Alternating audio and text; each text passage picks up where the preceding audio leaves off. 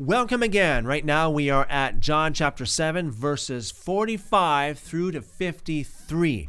The unbelief of the leaders. The officers therefore came to the chief priests and Pharisees, and they said to them, Why didn't you bring him?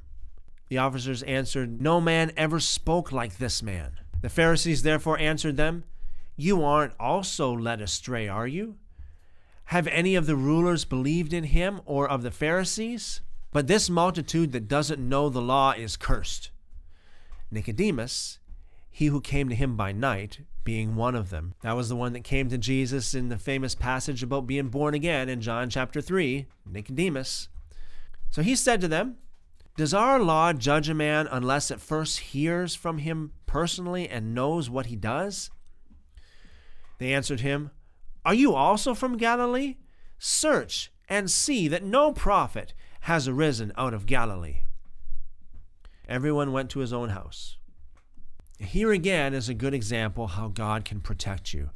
You see, they went to arrest Jesus, and even when they were right there, they couldn't arrest him. I mean, the words that Jesus spoke completely just shocked them, okay? And I pray that the words that you speak in Jesus. The words that you speak when you are preaching the truth will just completely confuse the enemies of God, okay? And so you can also be protected just as Jesus was protected here. Now, don't forget, Jesus also had the time when he had to go to the cross, okay? So, yes, God can protect you when it's not your time. So, once again, thanks again for listening, and God bless you as you seek him give you great revelation beyond all your peers. Remember, he said, Call upon him and he will show you great and mighty things. Thanks again.